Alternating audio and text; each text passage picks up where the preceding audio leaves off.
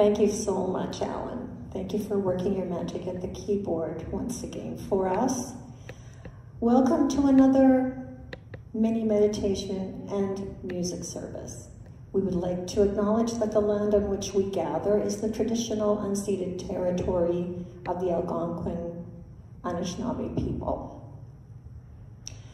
We've left our Christmas tree up for this service as a reminder of the wonderful light that came into our world.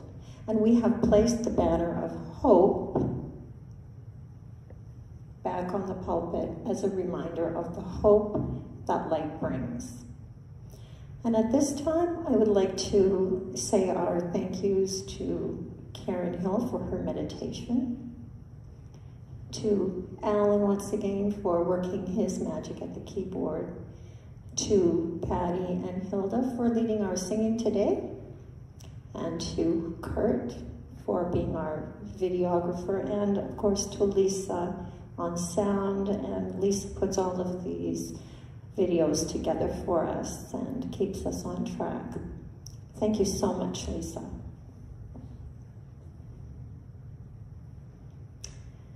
Dear Lord, we come before you to ask for the restoration and healing of our minds and bodies Thank you that you became fully human and walked among us so you understand the complexities of our human being.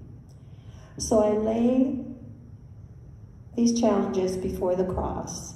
I surrender it now to your grace, knowing that you have paid the price for my freedom. Come, Holy Spirit, bring the torch of new balance, correction, and well-being to my thought life come into the memories of my past and the confusion of my present, and with new hope, hope and future of breaking free from any illness into a new dawn. Lord, right now we trust in the power of your unfailing love and grace and the freedom that is found in you. Come release me into all the good things that you have in store for us, and come and release us into all the good things. This we ask in Jesus' name. Amen. And our theme today is mental health. Let's begin our service with our opening hymn, Take My Life and Let It Be, verses 1, 4, and 5.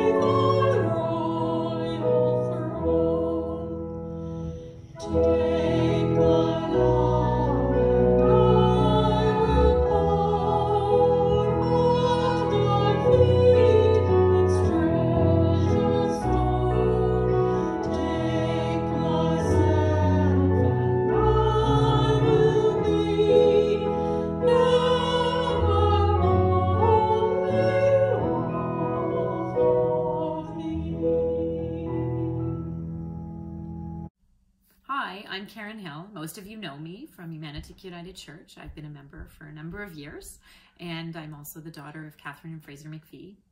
What you may not know about me is that I am an educator and a child and family therapist. So I've been working with children and youth um, who struggle with either behavioral challenges or mental health struggles for the past 25 years. And in that time, I have learned several different um, approaches, worked under psychologists and psychiatrists, um, who have taught me different ways of um, helping children and youth. Um, and in the last couple of years, I was introduced to a, an approach called the Nurtured Heart Approach. And after several years of experience and using and trying different approaches, um, I um, decided that the Nurtured Heart Approach is the one that I believe is the most effective and helpful for families and children who are struggling, who are intense, who have a different level of intensity in this world. So last year, I decided, right before COVID, I decided to become a trainer in the approach. And so now I offer uh, trainings to children and families in the Nurture Heart approach uh, so that they can face world, the world, their lives' challenges um, more successfully. So today I'd like to tell you a little bit about the Nurtured Heart approach in the hopes that it might be something that sheds light onto a different way of interacting and um, seeing um, the relationships in your life.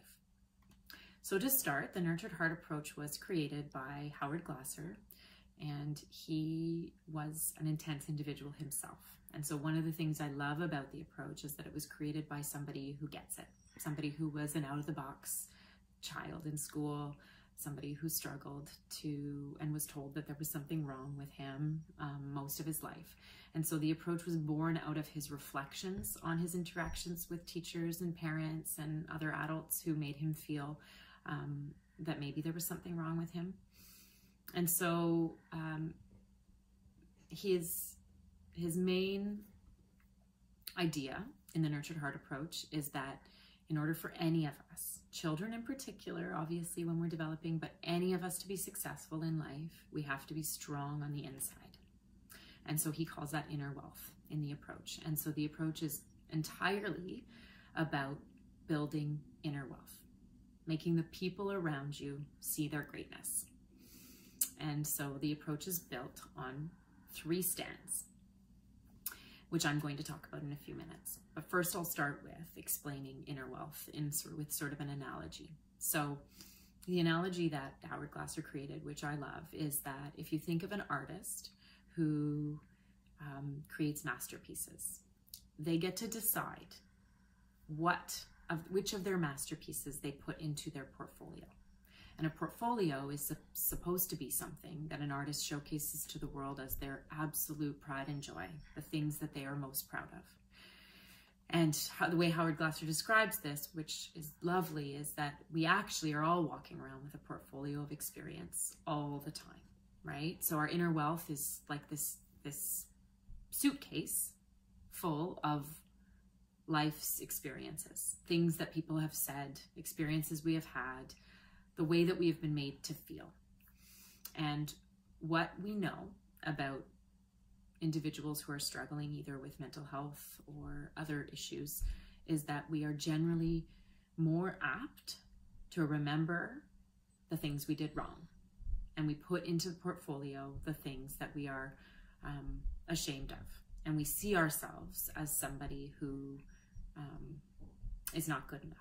And so, and this is an unfortunate thing about humanity, about who we are, and in particular for individuals who are more intense, they tend to they tend to be drawn more to the things that they've done wrong. And that becomes what goes into the portfolio.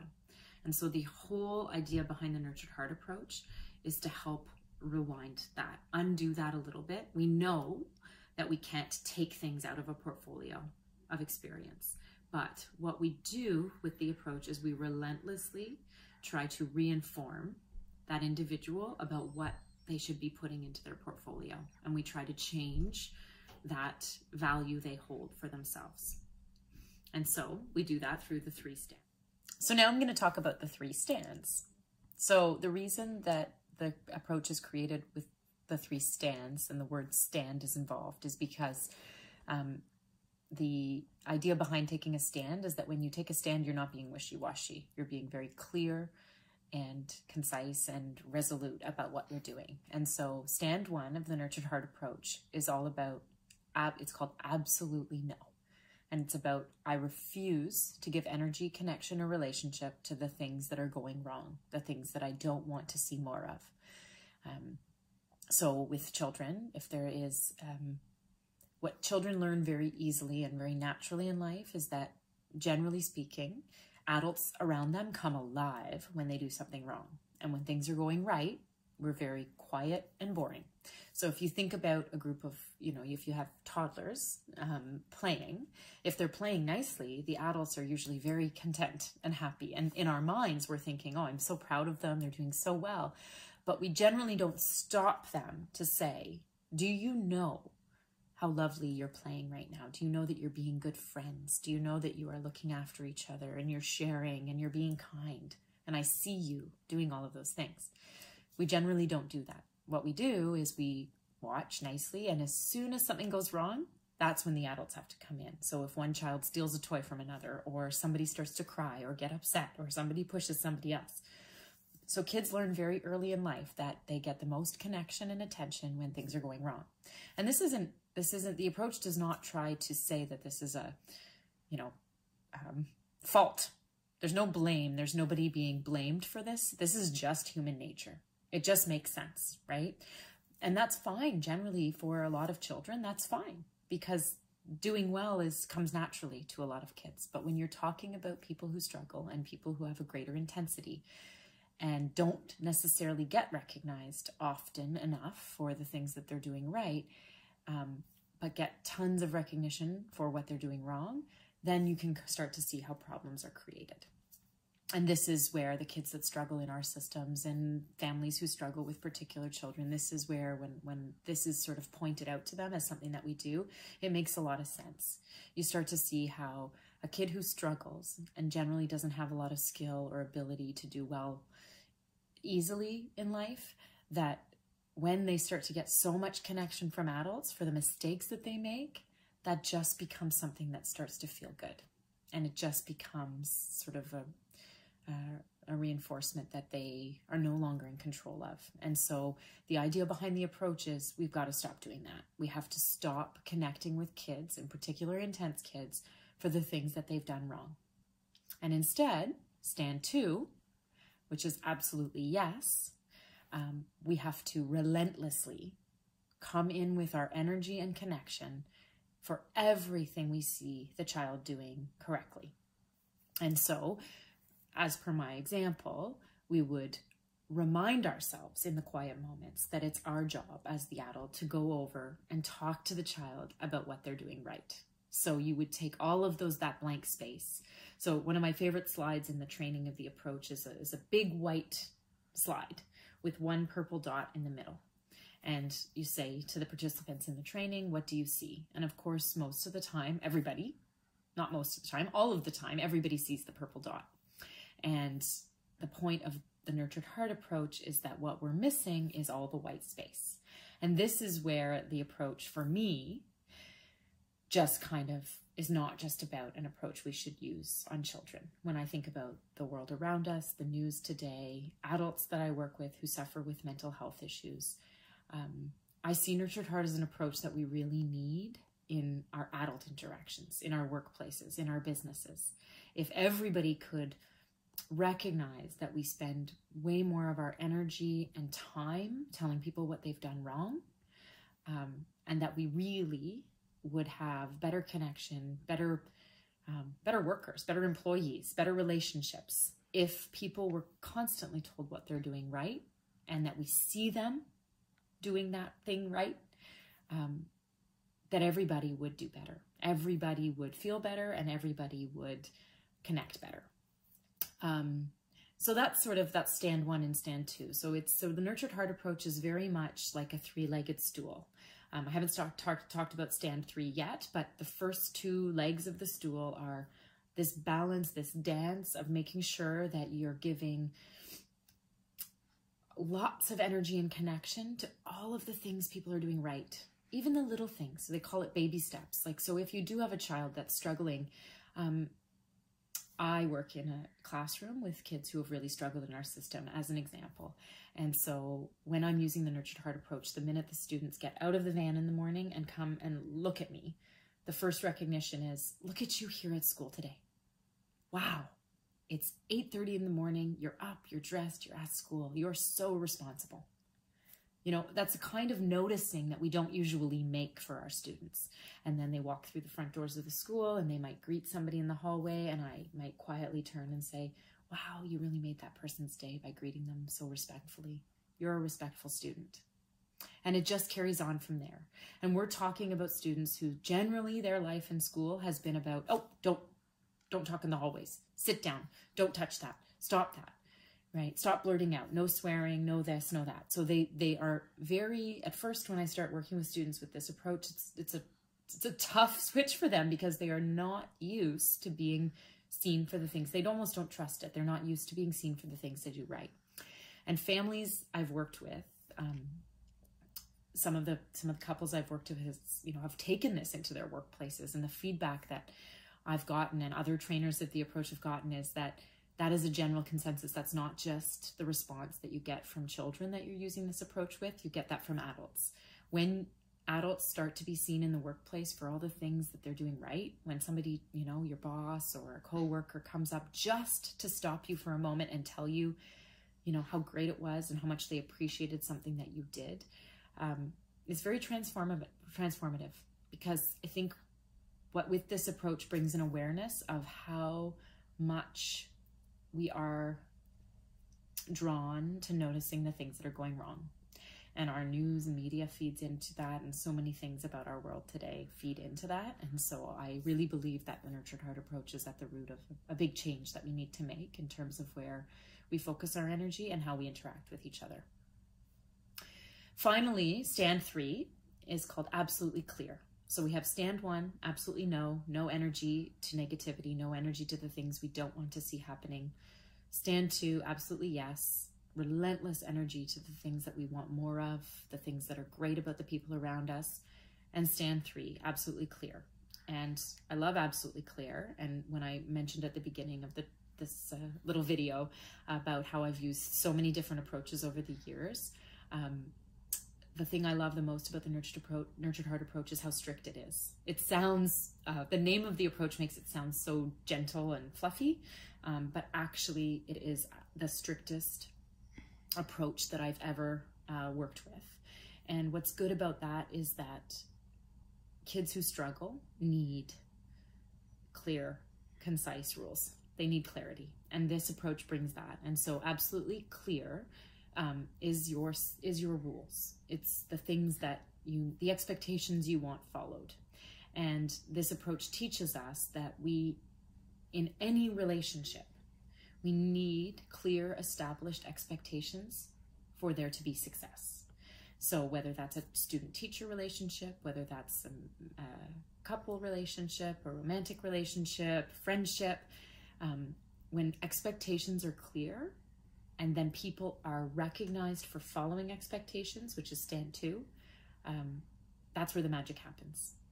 But you can't recognize a rule that's not established. So you can't tell somebody they're doing a good job if the job you ask them to do isn't clear.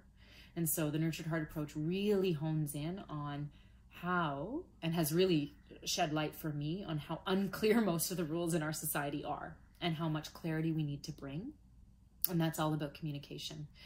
And so uh, stand three really helps. And stand three, the analogy used when we're training the stand three is um, they use a sports analogy. And so they'll talk about like the game of basketball and say, you know, a lot of intense individuals who don't do well in school or in their jobs can do very well in sport. And when you think about it, in sport, the rules of the game are crystal clear. Both the players and the officials know them without doubt. And when a rule is broken, the exact same consequence applies every single time. And the consequence is quick and easy, and the consequences such that it propels the people to want to be back in the game. So that is what the nurtured heart approach is based on. It's about based about creating clear rules that are enforced every single time they are broken with a very clear and quick consequence. It's not punitive, it's not energetic. It's meant to create an environment where being in the game, the game of life, in the in the in, in when we're talking nurtured heart, but with the analogy of sport, being in the game is where people want to be. And when you can create an environment that people want to be in, you don't need strict consequences. You don't need harsh consequences. You don't need punitive measures because being in the game is so rich and rewarding that people want to be there. And so the reset, the consequence, it's called a reset in the nurtured heart approach, can be anything. It can be quick and it can be anything because the true beauty of the approach is that the child wants to be back in the game. And just very quickly before I finish, I'll give an example of that. So in my classroom, when students are in the program, like I mentioned before, they are getting constant recognition for what they're doing right. So from, from the hallway where they're recognized for walking quietly and responsibly to sitting down at the table where I'm telling them how wonderful it is to have them there and noticing all of the things in the moment that they're doing. Um, when the child is in that environment and something goes wrong, let's say they make a mistake, like they say a swear word or they turn and say something unkind to one of their peers, uh, I will say reset. They will know that that means to stop and they have a choice. They can apologize. They can they can leave the table quickly and do something and come back. But they know that when I say the word reset, it means that they've broken a rule. And I don't need to restate the rule. I don't need to say, you just were rude to him. Do you know? Because we've already, through stand three, made the rule crystal clear that in this classroom we are kind to one another. And so all I have to say is reset. Then my job as the person using the nurtured heart approach is to spend that time after the time that I said reset, looking for the moment the child decides to do the right thing. So as soon as I see say reset, if I see that that child stops themselves and turns to the peer that they were being rude towards and says something kind, I immediately come in with my energy and connection. Look at you. You made a mistake. You fixed it right away. You apologized. You showed, I can tell by how quickly you corrected that, that you care. You want to be a part of this classroom community. You are responsible. And so there isn't a lot of punishment in that. It's all about being back in the game. And it's very transformative. And it's very transformative for people who are struggling with what's in that portfolio and seeing themselves as the unkind, unwell, uh, not wanted, not belonging individual, it, it becomes about connection and relationship. So it's a very powerful approach. I hope um, this little tidbit, this little intro to the approach gives you a little bit of a sense and feel free. I'm going to um, put the uh, website at the bottom so that you can check it out, check out more. And if you're interested in trainings, um, there is a wonderful friend of mine here who introduced me to the approach, Carolyn McGuire um, and her partner Christina, who have a business and run trainings uh, all the time. And so you can find out more, and their link is at the bottom as well. So thank you for listening. Forgive us, Lord, for the times we failed to lift our eyes first to you, for the days we've forgotten to even come before you. Fill us with the power of your Holy Spirit today and your strength, your peace, your joy. Fill us with your spiritual wisdom and discernment and the constant reminders that your presence will go with us and you will give us rest. We ask for your healing over every part of our lives, physically, emotionally, mentally, and spiritually. We ask that you would make us strong and resilient for the days ahead. We know that you have great purpose for those who believe in your name. Help us not to allow the distractions and the struggles of our days weary us down to the point of exhaustion. We know that your desire is for us to live our life abundantly and free. Thank you. Thank you that you are greater than anything we face here, and our desire is to reflect your love and light to a world that is so desperately needs your hope. Thank you for the victories in our lives that have no explanation except God did this we give you the glory and honor for all that you're doing every day, even in the times that we can't see it at all or fully understand your ways. Help us to keep our eyes on you and off of our circumstance. Help us to see when another soul needs to be encouraged too. May we be faithful to carry one another's burdens, remembering that we're all in this together. We love you, Lord, and we need you today. We're reminded of our weakness, but we know that in you we are strong. We lift up our hearts and our hands to worship you Thank you for your great love and care. Thank you that you surround us like a shield. We choose to find rest in you today. This in Jesus' name. Amen. And please join us for our closing hymn, Like a Healing Stream, followed by uh, a postlude by Ellen.